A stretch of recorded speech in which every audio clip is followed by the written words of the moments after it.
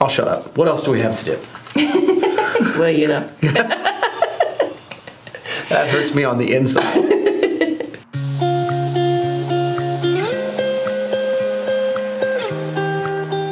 What's up, beautiful people? We are back at the property at 914. Now, a week or so ago, we did a video where Amy was nice enough to let me help, actually get my hands on a little bit of the projects, and that was fun. But it's really getting close. And so we thought we'd give you a little bit of a behind the scenes look at what the project at 914 is shaping up. Now, what Amy will tell you is it's not done. Mm-mm. It's not done, it's not ready, but, it, but it's getting there.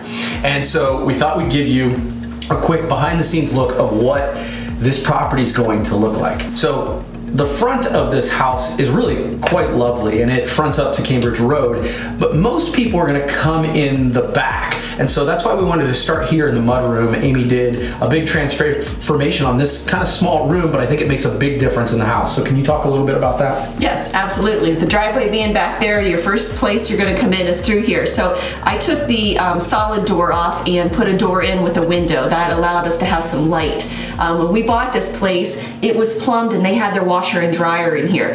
I don't think that's a great um, first impression. And so I moved the washer and dryer downstairs and made this a, a, cool little mud room. Got a bench for you to sit on and put your shoes on, take your shoes off, little hooks to hang your coat, fun little cabinets to put things, um, whether it be your hats and your scarves or your cleaning supplies or maybe canned goods from the kitchen. Um, new stairwell. Um, the old one was looking kind of kind of dreary. It was kind of mess. It wasn't really attached very well. So we put new new stair treads on, um, painted that all up, and, and just made this a nice welcoming place that I think you'll be, you know, impressed to show off instead of your dirty laundry. Right. And so that's what we've done in the mudroom. Now we're going to take you up these little steps into sort of the first floor area, and we'll show you what, what happened there. Okay, so here we are on the main floor Aim, why don't you talk a little bit about the rooms that are right here and what you've done to each one? Okay, um, this floor hasn't been um, quite the transformation as some of the others just because it's already beautiful. The woodwork is just gorgeous in these rooms. Um, we've got the main living room here and then a dining room back behind us and then the kitchen off to, um, to the left of that. Um, we redid the floors. Kovix came in and re-sanded um, down and restained and, and, and polyed all of the floors and so they're beautiful they again. amazing. we need to wash and, and polish up the rest of the woodwork uh, but we've painted everything and um, we did paint the, the, fireplace. Right. This is, I mean, this is one of the rooms that where we fell in love with the house Absolutely. to begin with. So gorgeous. that's why we wanted to just kind of yeah. clean it up, make it nicer. It natural. Yeah, absolutely. But the big transition that you did make on this is in the kitchen. Can you talk a little bit about that? That was a big one. Yeah, the kitchen was very outdated. It's a smaller kitchen, and um, you know, like most old houses are, um, but it was very cut up, and it was um, they had added an addition on in the I think maybe around the 60s or the 70s um, to the back of the house. So there's a small kitchenette behind it, and it had kind of been closed off the way that they had rearranged their um, stove and things like that. So we opened that up, made the, the entryway a little bigger. We actually added some woodwork to kind of pull that in from the rest of the house. Um, and just, you know, new cabinets, new appliances, new everything that way. Um, it just makes it look like a totally different space. It does. And I, I have a feeling this was one of those that's going to cost me money on the other end because Amy really likes. Yeah, I'm jealous. of the countertops and yeah, stuff. Absolutely. So, cool. All right. So that's the main floor. You want to go to the second floor next? Yeah, sure. We'll go to the second floor. Okay, so here we are on the second floor.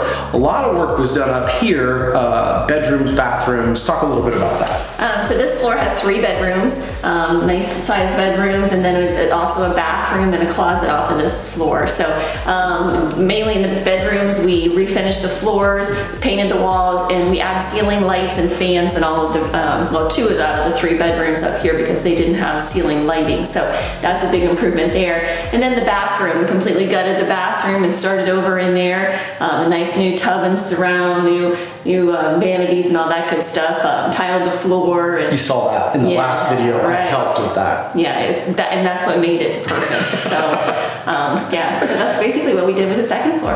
And one of the things that was a surprise is we pulled up carpet and found that there was nice hardwood Yeah. underneath it. And again, shout out to Kovic Connection. They helped us refinish all these. They look great. They're beautiful.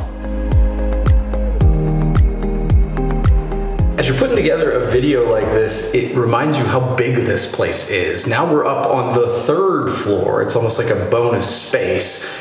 It's one of my favorite places in the in the whole house. So, can you talk a little bit about what we did here? Yeah, sure. Um, again, we pulled up the, the carpets and there were beautiful hardwood floors, so we went ahead and finished those again. Um, exposed some brick on the, the chimney that's going up, which is kind of cool, gives it a little bit of character.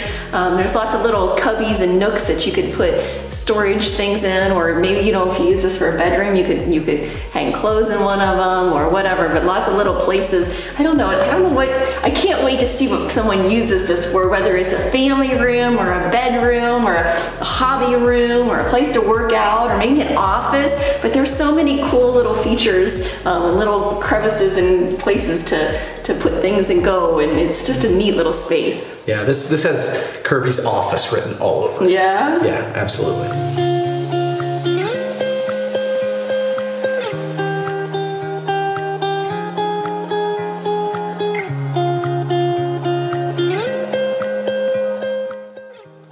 Right, you file this space under, it just keeps going.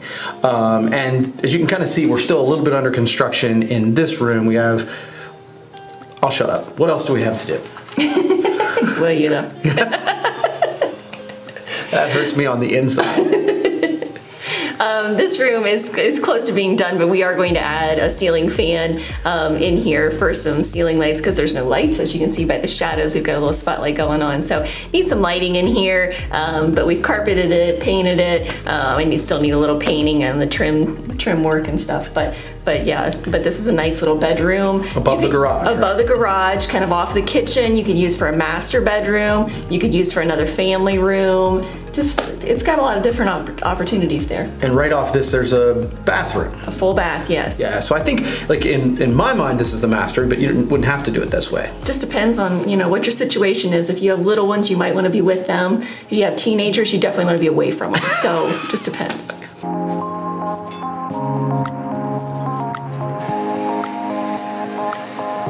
And now finally, we've come downstairs to the basement. This is one of the places that went through a pretty big transformation. So, um, and it's also one of my favorite spaces. I feel like I say my favorite play space in the house a lot, but this is probably the place where I can envision myself self spending the most time. So, talk a little bit about what you did down here. All right, so it was just kind of a hot mess. There had been some water damage, um, so we ripped up carpet. Uh, we took out. They had. Um, moved the water pipes way back when and still there was a big bump in the wall over here. So we Forgot took that that. out flattened that out so that way you can put a couch or whatever you wanted down here. Um, as i mentioned earlier they had the laundry upstairs. We moved that downstairs so there's a nice little area there. We walled off um, an area for the utility to hide the the the brand new hvac system and the water heater um, and make a bathroom um, down here. So and the, there was a bathroom before but it was nothing anybody's going to use. I mean it was really old and, Yeah. and yucky. So um, that's all brand new. Um, you know I, I don't know if we've mentioned but we've we put brand new plumbing in this house. It had knob and tube before so we replaced that right. with a whole new electrical panel. Um, the the the plumbing is new like i mentioned and we took it all the way even out to the alley um, and replaced all of that because there was a crack in that and we've got a back um, backflow valve on there so that you don't have to worry about sewage or water coming back into your into your basement in case there would be any kind of um, flooding so that is um, hopefully a peace of mind for people going forward Right. um, and i think that'll be really nice so uh, in addition to this looking really cool and being a fun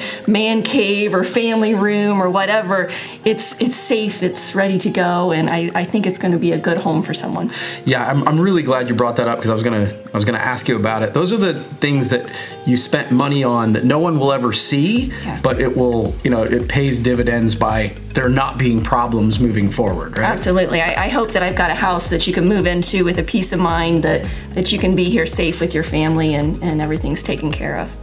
Okay, so that's our behind the scenes look at 914 Cambridge Road. Amy's done a great job. We'll we'll do a final video to kind of show you this is still a construction zone. We were, we were literally moving stuff around as we're shooting to try and give you the best look at it. But uh, and we'll do something moving forward. So if you like what you're seeing, please feel free to subscribe to the channel. We'd love to to uh, have you come along for this journey and journeys moving forward.